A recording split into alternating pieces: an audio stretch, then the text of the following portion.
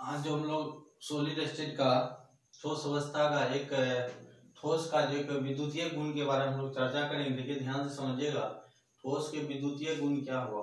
तो आप, बहुत सिंपल सी बात है, लेकिन यहाँ से क्वेश्चन आपके रहते हैं ऑब्जेक्टिव में भी या सब्जेक्टिव में भी आप इसको अच्छा से समझिए। देखिए, ठोस के विद्युतीय गुण आपको तीन प्रकार के हुए। एक होता है सुचालक, दूसरा कुचालक, तीसरा अर्धचालक। सुचालक इंग्लिश में बोलते हैं कंडक्टर कुचालक को नॉन कंडक्टर और अर्धचालक को सेमी कंडक्टर देखिए ध्यान से कंडक्टर मतलब बस का कंडक्टर नहीं। देखिए ध्यान से। सुचालक क्या होता है?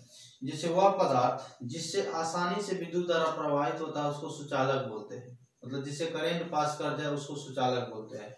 और वह पदार्थ जिनसे होकर विद्युत द्वारा पास नहीं करता है, यानी प्रवाहित नहीं होता है, उसे हम लोग बोलते हैं कुचालक। ध्यान दीजिएगा, लिख भी लीजिएगा यहाँ मैं डिफिनेशन नहीं लिखा हूँ, फिर भी लिख लीजिएगा।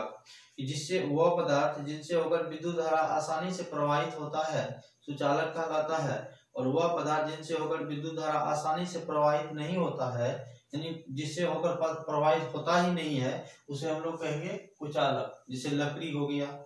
इसमें कोई भी धातु ले लीजिएगा, धातु जैसे अल्मोनियम का छर कॉपर का छर बनाया जाता है। फिर आया अर्धचालक। अर्धचालक वह पदार्थ जिनसे होकर आंशिक रूप से विद्युत धारा प्रवाहित होता है, अर्धचालक कहलाता है, और ये अर्धचालक दो प्रकार के होते हैं पी टाइप एन टाइप बहुत ही अच्छा ये है, देखिएगा ध्यान से। P type N type P type N type होता क्या? देखिए सिलिकन और जर्मेनियम सिलिकन एस आई और जर्मेनियम जीई देखिए ग्रुप चौदह का मेंबर है। पीरियोडिक टेबल आवर सारणी में carbon silicon germanium tin lead है ये? ये ग्रुप फोर्टीन का मेंबर है। तो कार्बन और सिलिकन ये जो है, शुद्ध अर्धचालक होता है। ये हुआ अर्धचालक जब इसमें हम लोग ग्रुप तेरह के तत्व को मिलाएँगे, किसको मिलाएँगे? ग्रुप तेरह को। तो देखिए ग्रुप चौदह से पहले है ना तेरह, इसलिए ये हो जाएगा पी टाइप। ध्यान दीजिएगा।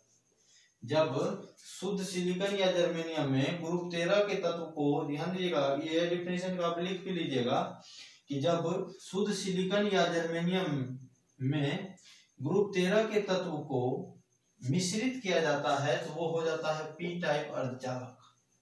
सिलिकॉन और जर्मेनियम ग्रुप तेरह के तत्व जैसे boron aluminium gallium indium thallium को हम लोग मिश्रित करते हैं तो उसको हम लोग बोलते हैं पी टाइप अर्धचालक। और जब सिलिकॉन और जर्मेनियम में, ध्यान दीजिएगा, जब सिलिकॉन और जर्मेनियम में ग्रुप पंद्रह के तत्व जैसे nitrogen phosphorus arsenic antimony bismuth को मिलाया जाता है तो एन टाइप अर्धचालक का निर्माण होता है। अब कहिएगा कि सर एग्जांपल दीजिए एग्जांपल इसका हो गया कि सिलिकॉन में आप बोरन को मिला दीजिए। तो सिलिकॉन तो ग्रुप चौदह का तत्व है।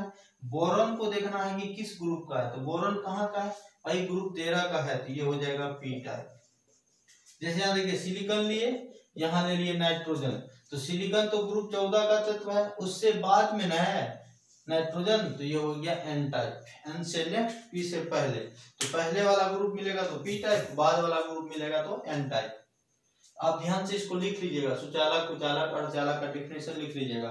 और जो भी इस इस चैप्टर में जो भी टॉपिक छोटा है ना तो आप उसको जो है कमेंट कर दीजिएगा कि सर ये नहीं बचा है या मेरे व्हाट्सएप नंबर मेरा व्हाट्सएप नंबर लिख लीजिए.